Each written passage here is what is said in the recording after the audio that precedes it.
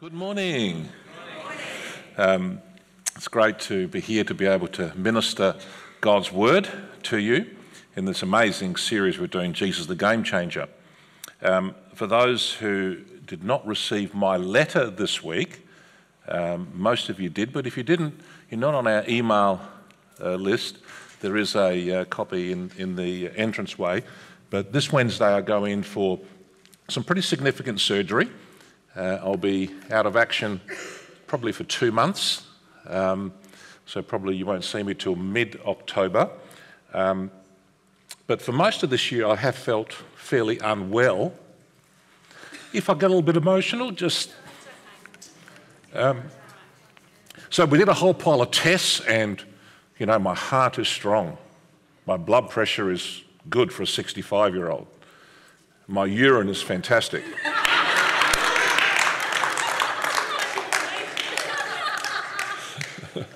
Kathy said, ah, you've probably got pre-diabetes with that medicine ball in your stomach. And, uh, and uh, so, um, you know, blood pressure's good, glucose, all, all that stuff, blood pressure. Um, um, and my, hey, get this, Greek blood, my um, Greek food, my cholesterol is 2.4. So, so I'll get all these results back, think fantastic. And then they came back and said, but you've got a cancer in your body. And uh, so uh, anyway, uh, so that started the process of, of uh, you know, whole pile of tests, and and uh, and so uh, that was a that was a difficult period to uh, to not knowing, and so now they know they know exactly what they're doing. They want to go in quick, get rid of it, and um, and then there'll be a you know four to six week convalescent period.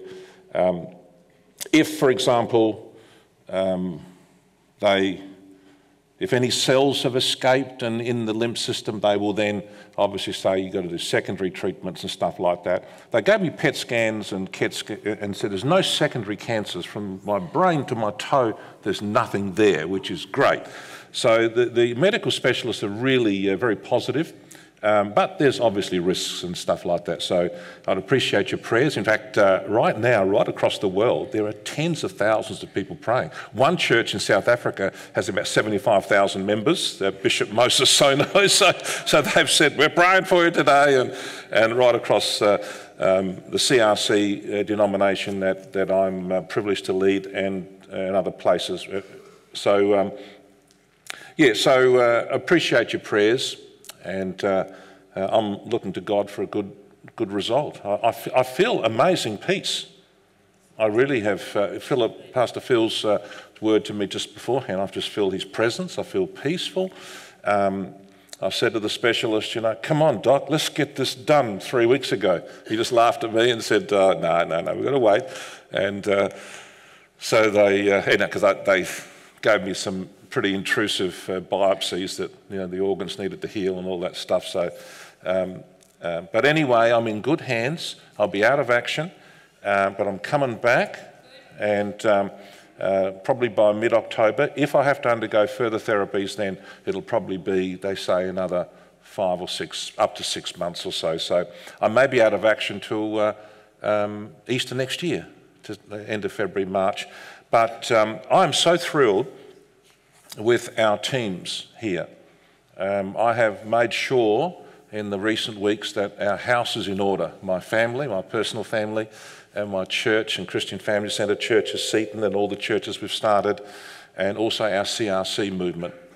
And, uh, and I'm delighted uh, that our team are, are, fabulous in how they're operating. And as in my letter, I've mentioned to you that Pastor Tim Lockins um, is our uh, Deputy Senior Minister of Christian Family Centre Churches. Though he started CFC South, um, he's part of our Board of Elders and he is the Vice Chairman of the Board of Elders. He'll be leading the board and uh, also um, once a month he'll be coming here to minister at all services. We're trying to Friday as well as Sunday and he'll be supporting uh, our senior leadership team, um, which is, you know, Pastors Cass Tompich, Nathan Betcher, um, and um, Sam Chesser and Milan Tompich as our general manager, so he'll be there to assist and help. So uh, CFC is in good hands, fantastic leaders, and um, and same as with uh, our CRC movement. I can't go to the national conference, first one I've missed in 17 years. Um, but Pastor Bruce Sharman, who is our national vice chairman, uh, we got together last Monday, and, and, so he's taking charge, and he's a fantastic man of God, and um, and so uh, we, we've uh, looking to him for um, God to provide for us. So I appreciate your prayers. I think we're going to pray at the end of the service, huh? I felt to share the word, or in fact, my wife said to me, You, you should preach the final Sunday before you go in. And uh, so that's her fault. Because I'm supposed to be in Europe. I'm supposed to be in Africa, Europe, five weeks away, and you know, with uh, my, my, trips to Ghana and ministry there, and then to Canada for the World Pentecostal Conference representing the CRC. Uh, so they, they had to be cancelled. But um, so I felt in the series, the Jesus the Game Changer, I'd like to share about leadership because that's one of the topics that Karl Faase has put together. And this series is fantastic. If you're not part of our life groups, you should be, because the DVDs of Karl sharing with all these experts of how Jesus has changed the game forever in our world. Um, and particularly when it comes to leadership, the world before Jesus um, the world that Jesus came into is what we call the Greco Roman world. Basically, Greek culture, Roman power. Okay? Uh, the Greeks were the brains, the Romans were the brawn. Um, and so, our understanding of leadership um, was, was totally the opposite to what we have now. For example, the two most influential people in the Greek Roman world for hundreds and hundreds of years uh, were Alexander and Caesar. Can we see a picture of Alexander, what he looked like? That's Caesar, that's Big Julie, and that's Alex. Um, so uh, Alexander the Great was, uh, both of them were geniuses, no doubt about it. Um, I've got a book home, uh, the latest biography on Caesar called The Life of a Colossus, about this thick. I read it through and I thought, man, what an amazing human being. Um, Alexander was 32 when he died, and he um, conquered the world, basically, from 18 years of age to 32, 13 years. And he never lost a battle. Um, he went from uh, Greece all the way through to India and he wanted to take the whole of India and then to go to China. But the Macedonian soldiers, the 50,000 men that went with him, said, Alex, that's enough. We want to go home. And uh, so he realized he had to go back. Then he um, went to Babylon, where he had uh, had his palace uh, knocked off the. and he died, died of malaria. And uh, amazing human being, but totally flawed. Uh, one time, just to give you an example, he's an emperor, he's a, he's a king. All executive, legislative, judicial power is in him. His best friend is a guy called Cleitus. Uh, Cleitus saves him at the battle of, I think, Gaugamela or Issus, I'm not too sure. And so Alexander was one of the few kings that actually was up the front. He didn't lead from the back. He actually was a warrior king. He was up the front. And so his soldiers, his bodyguards went crazy. They're saying, let's just get around him. And so uh, one time he climbed a wall in India as they're throwing spears, and he actually, and the men were too scared, he actually jumped down. And they all go, What the heck? And they all jump down too. So he's, was, he was a ferocious uh, uh, man. Um, but this guy, Cleitus, saved his life in one of the battles. And then Alexander, in one of his drunken stupors, he's just raving and talking and bragging and Cleitus says, You know, isn't it about time you grew up, Alex? And, and said to him, Some of the things you're doing are wrong. Now they grew up as friends. Alexander grabs a spear, kills him instantly. Just slaughtered him. All his men freaked out. No arrest, no judicial. He can't. He's, he's the emperor king. Alexander was so bizarre that he tried to kill himself then and there. He said, I've killed my best friend. He tried to destroy himself, and they held him back. So, a very flawed man died at 32 years of age in Babylon, probably of malaria or yellow fever. But he was the role model of what leadership was about. Okay? And get this leadership had nothing to do with morality or ethics, it had to do with power, position, prestige, palaces, and gaining your will over people. The second man, Julius Caesar, was murdered in the Ides of March, 44 BC, the most famous assassination in history. And uh, um, amazing man, actually, amazing. If you want to understand politics, Caesar created the modern form of politics, basically. He was a master politician. And at, uh, at 40, I think he was 40 years of age, he's in Spain doing something as a politician in Rome, and he sees a statue of, of Alexander, and he falls on his face and weeps and says, I've achieved nothing.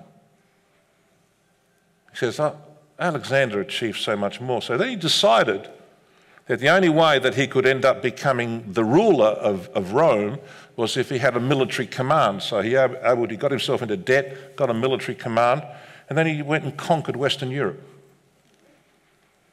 Conquered France, Germany, Spain, Latinized the whole of Western Europe. A million people died in the process. Um, and uh, then he came back and, and uh, amazing man, but you know, on his way to power, just to show you the corruption uh, in Rome, the way that he actually gained power over the Senate was that he, he targeted the major leaders of the Senate and he seduced their wives. So he thought if I can get them in bed and then tell the world about it, those men will realize I have more power than them. Terrible, really. So he, he, he basically did this. And um, no wonder he was hated by a lot of people, in spite of his brilliance. And um, so he personified that leadership has to do with power over people, okay? Um, it had to do with manipulation, control. You could do what you wanted. The only way you could get rid of those leaders is to actually kill them. It's the only way. The only way that the constitution, there was no constitutional way by which. So the world was, for example, words like mercy, humility were, were swear words. If you, in the Greek Roman world, it, it was a, a, terrible environment. Uh, women were treated like, like dirt. Children had no rights. Um, so, uh, uh in the Greek world, uh, for example, you married and basically not out of love, but just to produce kids. And then uh, in, in the Greek world and a little bit in the Roman world, is the highest form of love was that a, a grown man would have a little boy. And that was a relationship that he would develop. So Alexander had his boy.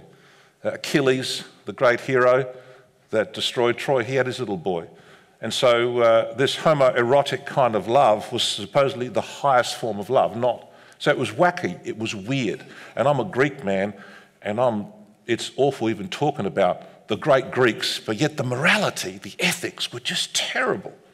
It was a brutal world. Little girls, if you had a little girl, they weren't worth much. So, so there was infanticide. So they would leave the babies on the side of a hill. Most cities would have a hill, and the babies would just die or the animals would eat them because you wanted to have boys. Um, and so we're talking about a, a world that was full of power, but it was totally morally, ethically shot to pieces. Jesus comes into this world. And, uh, and you know what he did? He conquered Alexander and Julius Caesar within 300 years. His ideas, his influence changed the trajectory of the entire world when it comes to leadership, totally. How did he do it? How did Jesus do it? He only lived for 33 years till his crucifixion and then he went back to heaven. He only ministered for three years. How did he conquer this terrible culture that was, had, had such a, a perverted view of how people exercise influence over each other? Well, firstly, through his revolutionary teaching about servanthood. In, in Mark chapter 10, it's an amazing story. So here is Jesus with his 12 And if you know the chronology of the four Gospels Matthew, Mark, Luke, and John um, he only started talking about his impending death on a cross about nine months before the Passover, the third or fourth Passover that he was going to go to in Jerusalem, where he knew he was going to die for the sins of the world. Because they, they wouldn't have been able to understand. So he shares with them. He's talking to them about, boys, the reason I've come here is to show you what God is like. I am God. He said he was God. He and the Father were one. Before Abraham, he was. I've come to show you God has appeared in human form. I'm fully man, but I'm fully God.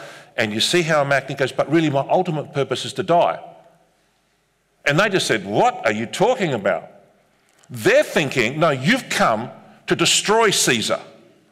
You've come to overturn that Greek Roman world by power Throw the bums out, the colonialists, and, and we, we're going to get free. Israel's going to be politically free. They saw it in political terms, in military terms. The culture of the world had infected even them. And so he's, trying, he's talking to them about a, a, a cross that he's got to bear for the sins of the world. And James and John, in, in, in Mark's account, in one of the other accounts, it says they got, he got, they got their mum to do this. You know what they did? They said they took Jesus aside, said, Jesus, listen, we've got a plan. When you get, when the kingdom's set up, could you put Johnny on one side and Jimmy on the other side, closest to you? One throne for them and one throne for me. Or the mother said, for my boys. And Jesus must have just gone, ay, ay, ay. Don't they get it? He's talking about a cross that he has to bear to be able to remove sin, the barrier between a perfect God and imperfect human beings, and they're focused on a crown, a human crown. They were so infected by the water of the Greek Roman culture that it was going to sink their lives. They had no understanding of what he was really saying. And so then he takes them aside and he rebukes them beautifully. I mean, Jesus is so good. I would have said, Boys, you're out of the team, you're sacked. I'm going to get two new ones. Not Jesus. He somehow lovingly teaches them. And this is what he said. He called them together, the 12, because when Peter and the others found out what Jimmy and Johnny were up to, they were mad. They were like, What the heck? You turncoats? You, you want a special place? They probably said, We want that special place. So, division. So, that, that beautiful ministry team for two and a half years was about to be divided by this action of James and John and their mum. And he called them together and he said this You know that those who are regarded as rulers of the Gentiles lord it over them, and their high officials exercise authority over them. And these are the four words that should be printed in every leader's manual. Not so with you. Do you want to say it with me? Not so with you. He says, This, this is the antithesis of my kingdom. Earthly kingdoms operate on a totally different premise. But Alexander is dead. Julius Caesar is dead. The Roman Empire, the Greek Empire, the Persian Empire, the Babylonian Empire, the Assyrian Empire, the Hittite Empire, the Egyptian Empire have all crumbled and gone. But Jesus' empire, his kingdom is living on because the values that underpin it are eternal. Whereas the values of Alexander and Julius Caesar, as brilliant as they, as they were, are temporal. They cannot last when it's built on anything outside. And so Jesus transforms this and he says, Not so with you. Instead, whoever wants to become great among you must what? Be your servant. And whoever wants to be first must what? Be slave of all. And look at this. For even the Son of Man did not come to be served, but to serve. Wow. And to give his life as a ransom for many. I am so thrilled with the Christian Family Centre and our CRC movement, the denomination that we are part of. I'll tell you why. Because I've seen churches come and go. In fact, I've seen some Pentecostal denominations come and go. And the reason why they go is their fundamental understanding of leadership is skewed. They think of position, power, palaces, prestige over people. They haven't actually embraced that it's about servanthood. Can I say, I'm away for two months, maybe six months. The church ain't going to miss a beat here, the Seaton Church. CFC Church is not going to miss a beat. CRC movement. Why? Because it's not built around one man and, and his particular gifts or a group of men and women. It's built around Jesus Christ and the values that he has given to us. And the first and great value is this of servanthood. Of servant. You know, years ago, maybe 17, how long have I been leading the CRC? 17 years. Years ago, we heard of a denomination that when they have their national conference, the leaders, the leader and his team, never eat with the plebs. Hey, they have another room. So in the tent here and there, they, they eat on their own. They have, and when I found out about that and others, I like, wow, that's terrible. So we made a ruling. You know, we said, when we come together as a national leadership team, we will eat with the people, with the leaders and the pastors. And how often have I asked my assistant, whoever that is, I say, just, just get that church. Uh, I might pick a church that might be, let's say, um, Orange, New South Wales, or, or some other place, a little church with a pastor. I say, just tell them I'd like to have a meal with them and their team. Well, they nearly die with their leg in the air. Because they don't know me as such, they know me as a leader. But when to, to actually go down, to lower myself in their minds, to actually go and eat with them, you've got to believe the effect it has on them. But to me, it's no big deal. It's just what we do. This is, we're here to serve the best interests of people. It's not about us. And I know that our senior leadership team here, and Pastor Cass, Pastor Nathan, Pastor Sam, they oversee our three services, and Milan Tompich, our, our general manager, they are servant leaders. And, and the church is in safe hands. Pastor Tim is a servant leader. And Jesus says here, you cannot deviate from this. And uh, if we deviate from it, then what we're going to do is embrace human, the ethic of Alexander and Julius. No, we don't want that. Servanthood. Secondly, how does Jesus conquer? How did he conquer them? Through his revolutionary teaching, servanthood, through his transformative example, selflessness. These are great scriptures. So just before he dies, so the first scripture, Mark 10, is, is like nine months before he dies, and he's trying to explain to them about the cross, and there's talking about a crown, and he introduces servanthood. Now, the night before he dies, he drives home that how servanthood manifests itself is by acts of selflessness. Acts of selflessness. And so they're at the Last Supper. And you know what Jesus does? He decides to wash their feet. Now, if you decided to wash my feet, let's say, uh, who's a good uh, Andrew, uh, Andrew who, who's one of these boys, who would like to wash my feet? Anyone here? Oh, your kids like to wash my feet? Ah, oh, James, you would, wouldn't you? I tell you, you take these shoes off and you take these socks and you can put your nose by my feet, they smell nice. I've washed them. I've washed them and perfumed them just for you. It's no big deal.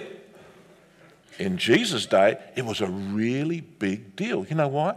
Because they walked the streets. They didn't have these shoes, they had thongs, they had leather sandals. And you know, where you walk the streets, the sanitation ain't existing like we have today.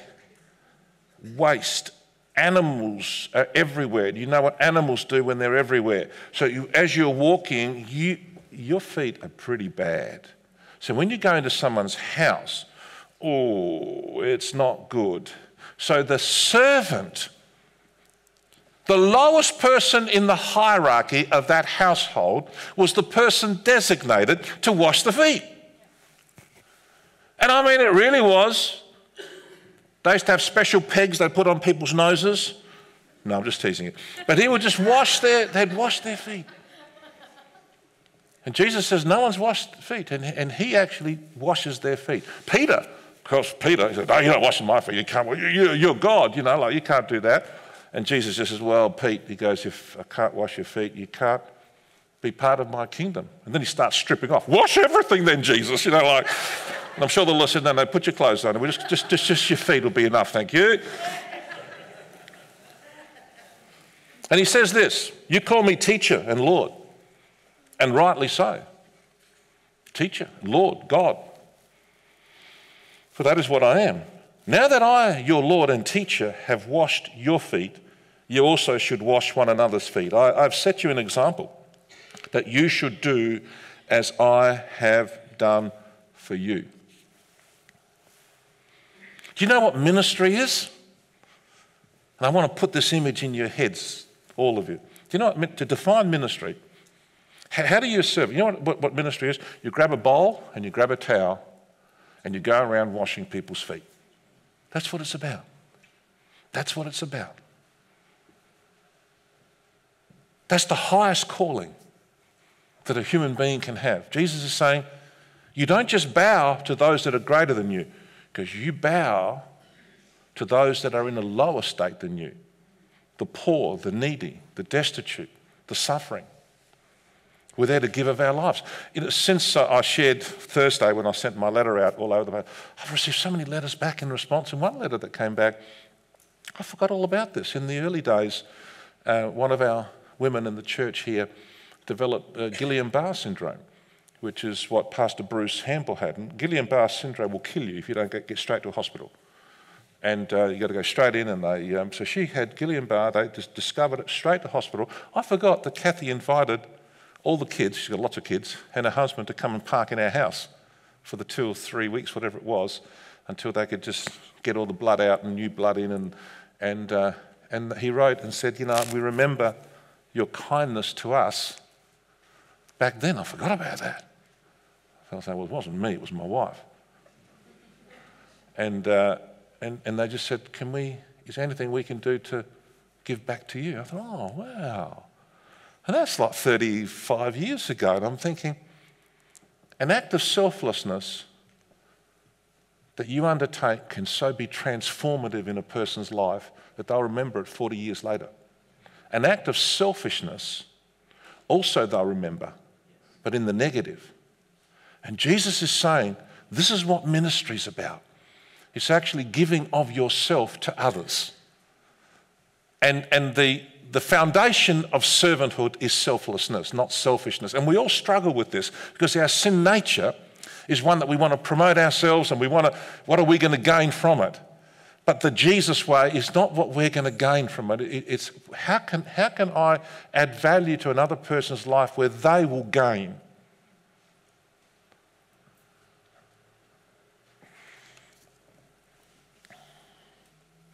The virtues of humility and mercy were foreign to the Greek Roman world. Jesus, through his followers, conquered the Greek Roman world by these acts of kindness and selflessness. When the Emperor Constantine in 312 AD, someone will find out that I'm wrong on that one, either 312 or 315. Um, at the Milvian Bridge outside Rome when he was about to be killed by another army. And so they're fighting who's going to. Most of the emperors actually were warlords. Most of the emperors in, in Rome were champion soldiers because the people wanted the brute force. And he had a vision. And um, whether it was correct or not correct, he felt Jesus say to him, You're going to be the next emperor. And in this sign, the sign of the cross, you conquer. He won that battle, became emperor, and legalized Christianity. He said it's the most influential. It affected his mum, it affected. Uh, and, but the, they reckon the numbers of Christians are only about 10% of the Roman Empire. If the Roman Empire had maybe 75 million people, we're talking about 7.5 million people. But they had so influenced, they had so salted the corrupting flesh of this Roman Empire they were the ones that cared for the orphans. They were the ones that built the hospitals. They were the ones that took the children off the, off the, the sides of slopes and, and brought them into their homes. They were the ones that stopped the Colosseum being used to kill people, to, to stop gladiatorial things. Even the fact that the, when they stopped, the killing of the babies didn't stop for, for, for a couple of hundred years. But you know, the, the Christian families, the men and the women married for love, and they stayed faithful to each other. Roman men were just, like I said, followed Julius Caesar's example. So romance, love, relationships had nothing to do with it. And there were some exceptions to it. And so what happened in Christian families is, is the families were big and they didn't kill their girls.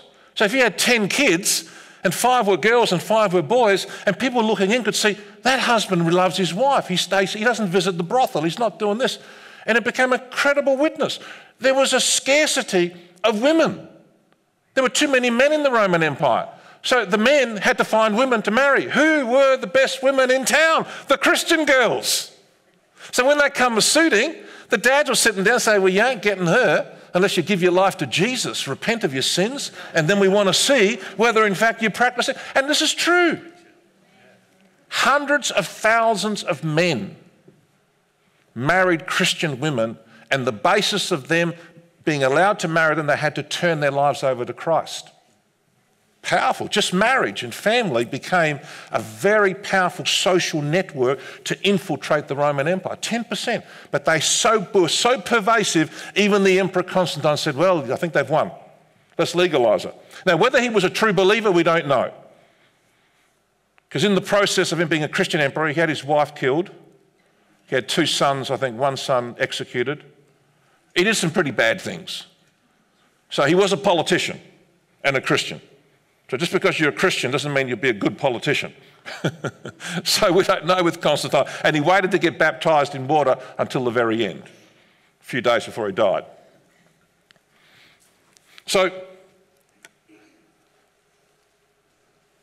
selflessness, the virtues of humility, mercy, selflessness, serving became foundational to what leadership is today. So let me say this to you. Let me give you names to show you how. And if, if this was a non Christian audience, they'd say the same thing. We detest pride. We hate arrogance. We hate conceit. We love humility. We love mercy. We love. This is like. So let me give you these names. Give me a thumbs up if they're good. Give me a thumbs down if they're not so good. Adolf Hitler, two. Nelson Mandela, Joseph Stalin, Martin Luther King Jr., Donald Trump. No, no, no, no, no, don't. don't, don't.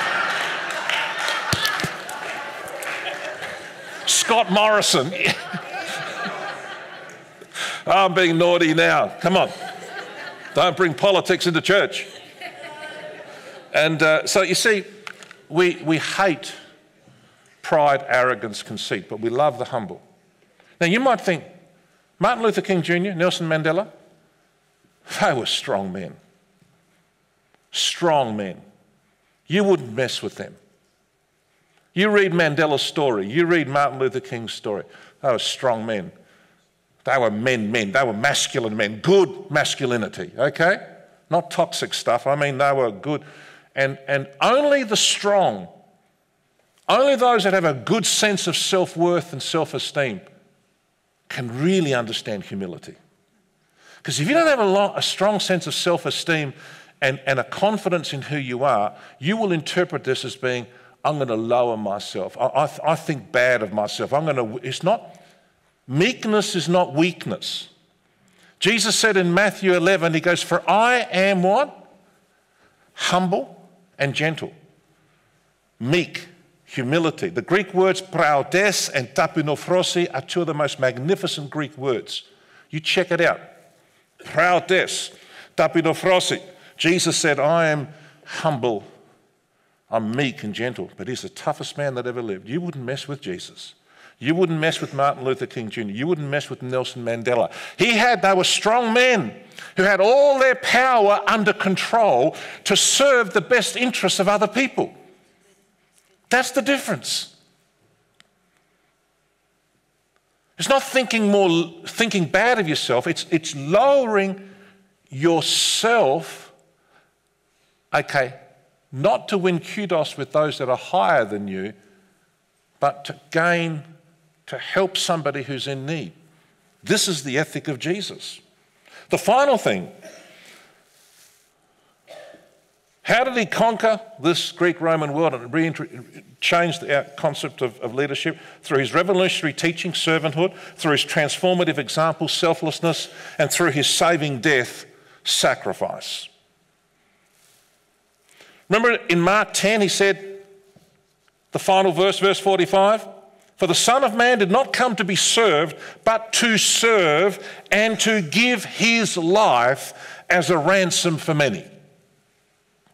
The Apostle Paul says to the Philippian church, now, Philippi was named after Alexander's father, King Philip of Macedon.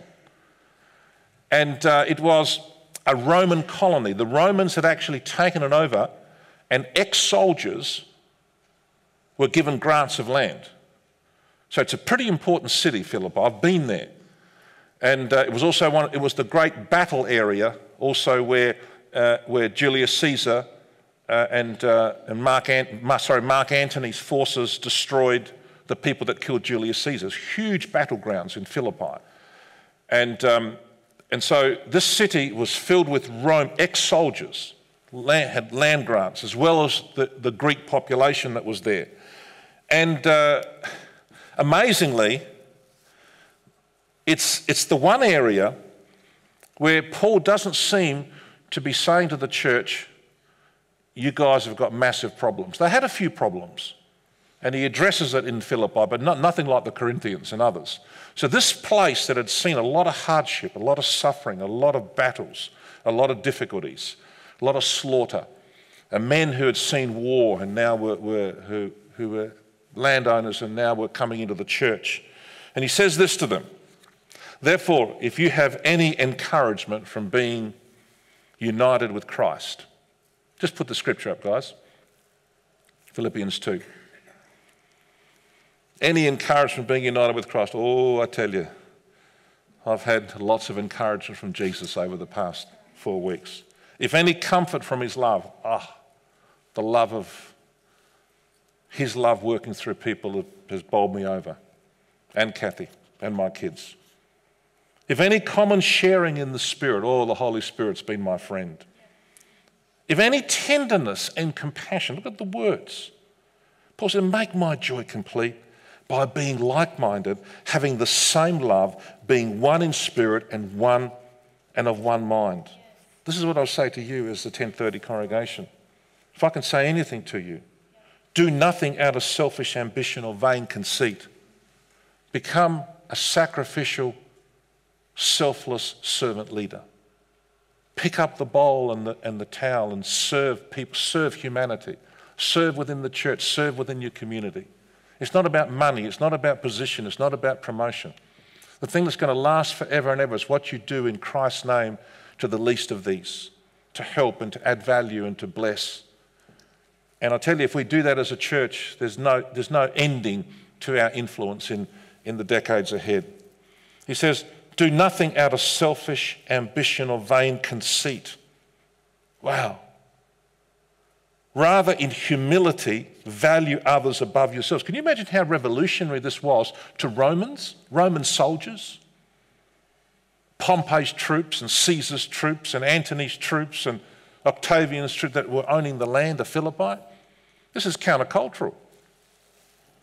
Rather, in humility, value others above yourselves not looking to your own interest, but each of you to the interests of the others. In your relationships with one another, church, have the same mindset as Jesus. And this is Jesus. Who being, this is the great statement of Paul, probably one of the greatest statements ever written, who being in very nature God, did not consider equality with God something to be used to his own advantage. Rather, he made himself nothing. Which actually, that's a terrible word, nothing. It's actually, he, he the, Greek word is he condescended. He, he left that lofty place and identified with us. Not that we're nothing, but compared to heaven where he was, the eternal Son who was in perfect fellowship with the Father and the Holy Spirit, the price that God had paid that forever, forever, he would look like a 33 year old Palestinian Jew whose body has been massacred. That when you see him, you'll see, heck, that's a terrible wound. That's a terrible wound.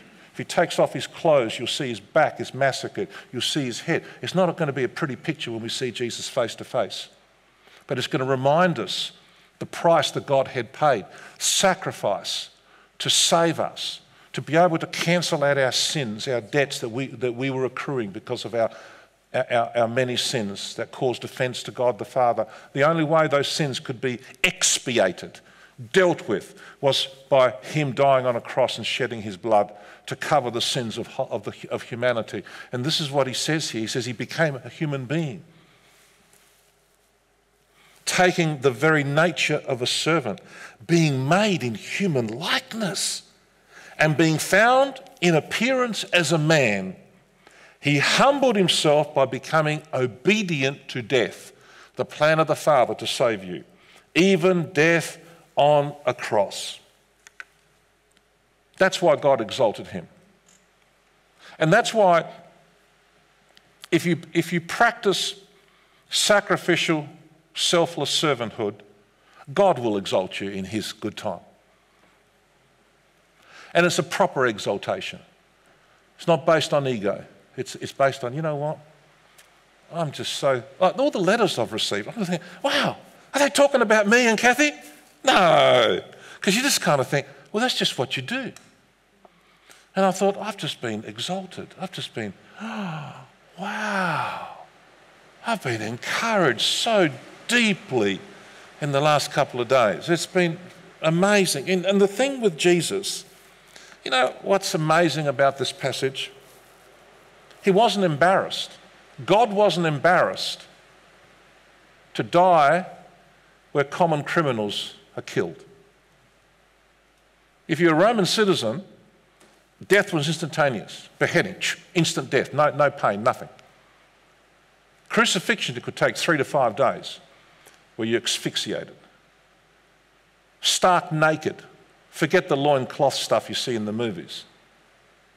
Naked before all those women, his mum and the women.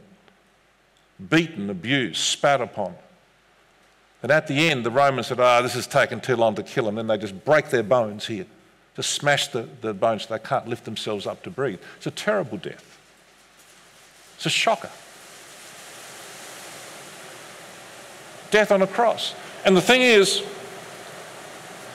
God didn't disguise himself. Jesus didn't disguise who God is when he walked this earth.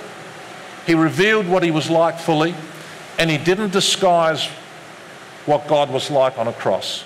Because only through the cross can we see the full manifestation of the nature of God.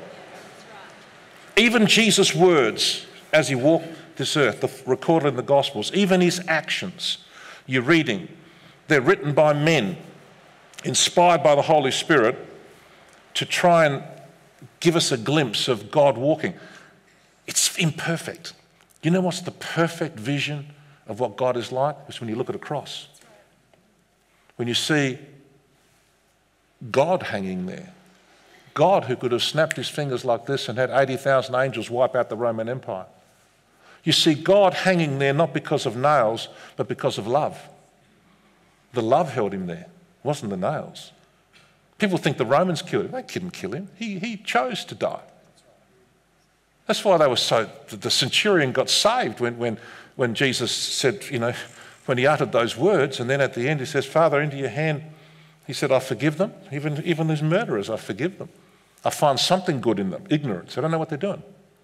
Father, forgive them. They don't know what they're doing. Same as us, He forgives us. We don't know what we're doing. We're crazy. We're insane. We're sinful. I can't condemn the world for all the terrible sins they do. Why? Because, but for the grace of God, there I go I. So, so he says, I, I want to forgive them all. I forgive them. I want them to come to faith. The centurion freaked out because then he says, Father, into your hands I give you my spirit. And it just goes. He goes, Hey, people don't die like that. So he chose to give up his spirit. He could have lived three or four days. He says, No one can kill me because I give my life and I'm going to take it up again. He's the eternal Son of God. Now, the Romans were used and the Jewish authorities on a human level, but God, in His sovereignty, worked it through so that the Son of God willingly laid down His life for you and me. God hanging there between heaven and earth. And somehow, mysteriously, God the Father is able to forgive us and cancel out our sin, give us eternal life, live forever. Heaven's our home, peace here on earth, a future hope, all because of what Jesus did. And I can't understand that outside of. So it is through the cross that we see the prism of God's light fractured into this beautiful rainbow of love. Amazing. Amazing. Technicolor view. We see we see a loving God. We see a forgiving God. We see a merciful God. We see a reconciling God. We see a restoring God. We see a good God. We see a heavenly dad who weeps with us. He's not somebody who's angry with us. He's only angry at sin and the devil and sickness and, and, and death and all that stuff. That's why in heaven there'll be none of that stuff. It's all going to be removed. It's all part of the curse. Sin, sickness, death, disease, war is all of the devil. So it annoys me a little bit when I have a, the surrealness of I feel good and I think, man, I've got this rotten devil cancer in my body. Shouldn't be there. And the medical profession say it shouldn't be there either. Let's get rid of it in Jesus' name, eh? And, and so, so why? Because we want, God wants to bring healing and health and to alleviate suffering in our world. Why do we have psychological services, healing disciplines, supporting the poor, the needy? Because He wants to push back evil. And one day, all that's going to be removed. And it's only can be removed because Jesus on a cross died, and there we see what God is really like. And God didn't disguise himself, He fully revealed Himself through the cross. You can't be a Christian unless you've embraced the cross life. You can't be a Christian, you can't understand this unless you just say, Lord, I just accept it. I accept it. Save me. Heal my soul. I can't do anything about it. I just, I'm just full of gratitude to your amazing grace. And that transforms our life. That transformed my life as a 17 year old boy. And it's never left me. In 48 years, it's as fresh today as it was back then. It changes everything. Let's pray together. Father, thank you for the opportunity to minister your word about how Jesus has changed the game, many games in this world, and particularly this game of leadership, where people are still playing funny games with leadership and causing so much havoc in our world. We see what Jesus has done in transforming our understanding of leadership by his teaching, by his example, by his death. That it's all about servanthood that's rooted in selflessness and that is sacrificial in its very nature. Father, as we conclude this morning by taking the great symbol of true, selfless, sacrificial servanthood that speaks to us of a cross that split history in two and changed our BCs to ADs. Lord, help us to appropriate what you've done for us on a cross 2,000 years ago. Loving Father, in Jesus' name, speak to every heart. For any who don't know you as their Saviour, may they give their lives to Christ today.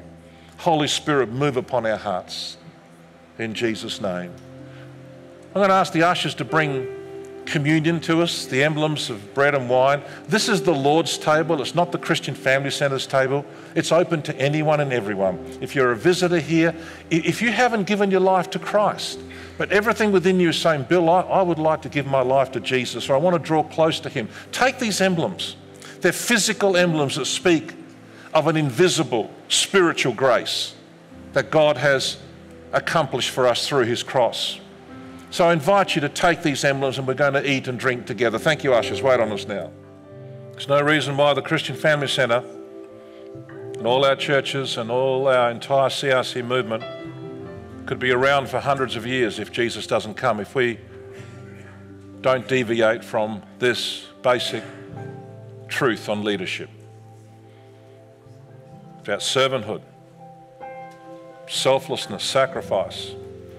It's taking up a bowl and towel, serving the best interests of others. It's not thinking bad of yourself, it's lowering yourself.